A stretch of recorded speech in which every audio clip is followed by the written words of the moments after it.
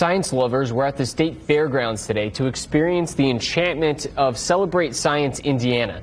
The event is meant for families and had over 50 booths for those interested in hands-on science, technology, engineering, and math activities. This event is organized by the Science Education Foundation of Indiana, and the mission is to ignite a passion for STEM studies in children.